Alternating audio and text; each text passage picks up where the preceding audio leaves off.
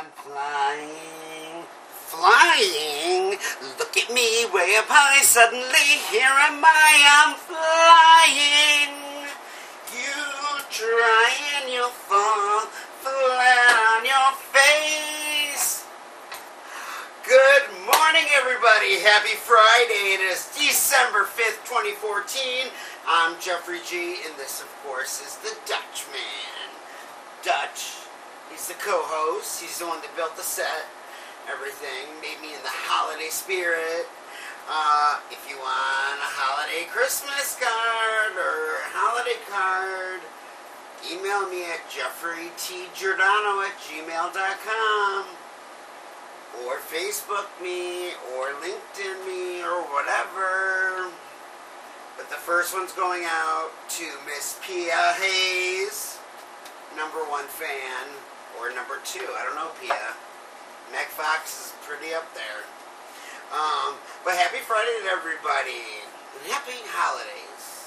I'm excited. I'm in a great mood. Want to know why? Because last night I watched um, my childhood video that I watched like growing up, Peter Pan.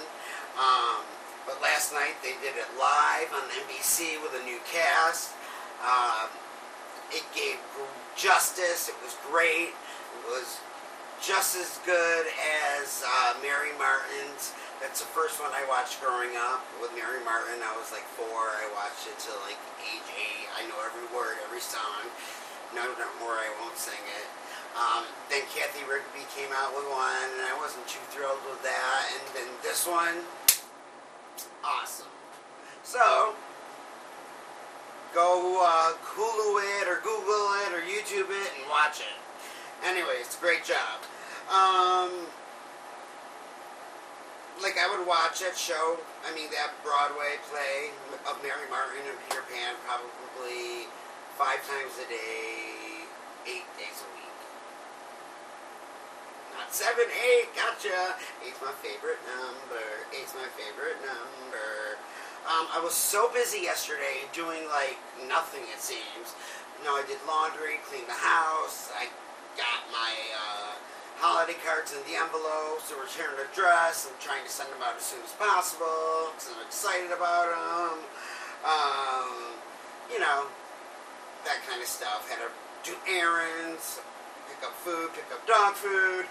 All right, I'm not going to bore you with my life anymore.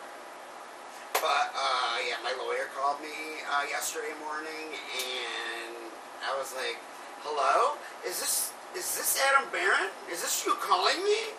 You're calling me? I couldn't believe it. I wanted to record it. But, um, no news. So he said Monday we'll definitely have some news. Yay! Um,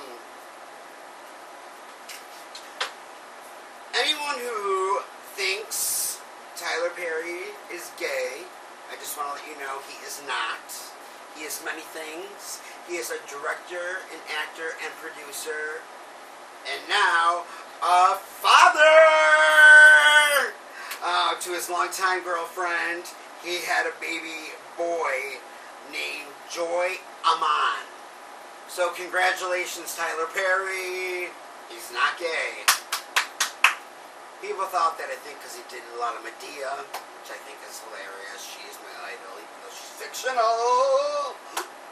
So I don't know if I'm going to be in Fashion Police uh, week after next because I don't think I made the deadline because I was busy doing other things. Not good. Hopefully I'll get in. Hopefully I'll get in. Think positive. Positive thoughts. I'm in such a great mood on a Friday and it's my Monday. Uh, yesterday Miley Cyrus was with Arnold Schwarzenegger's son. I don't know his name. Um, and the paparazzi caught them on a balcony smoking weed. And there's pictures, pictures everywhere. I'm sure it's like breaking news. But um, we're in Miami. I guess this is like a party, party like capital. Anyways, Joe Manganiello also bought Sofia Vergara a ring.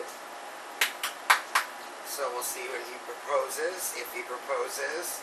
Um, I I forgot yesterday's question of the day, so I can't answer it for you.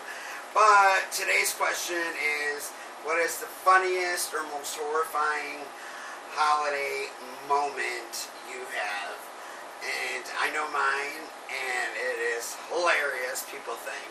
Um, and I'll share that with you on Monday, and I won't forget, I promise. Um, and also, um, they showed video of Tracy Morgan six months after his, you know, almost deathly car accident with a 16 foot wheeler, whatever you call them, big trucks. Uh, he had to learn how to, to talk, re-walk, and he's doing it every day, and he's still in rehab six months later.